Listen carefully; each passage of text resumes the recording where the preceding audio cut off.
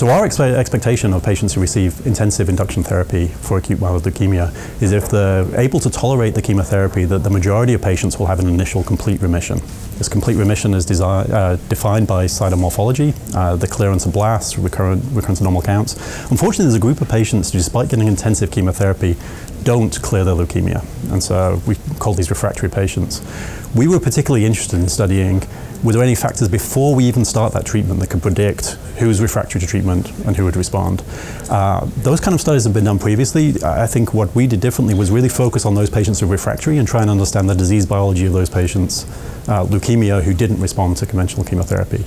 Uh, we were able to, uh, to leverage a wonderful data set created by uh, Brian Drucker and Jeff Tyner at, um, in collaboration with the Beat AML uh, cohort, who was a, released publicly a wonderful data, data set that includes clinical annotation, RNA-seq data, exome data, um, and for investigators, that's a great tool. We really could go in, pick a cohort that matched our description, and answer that question.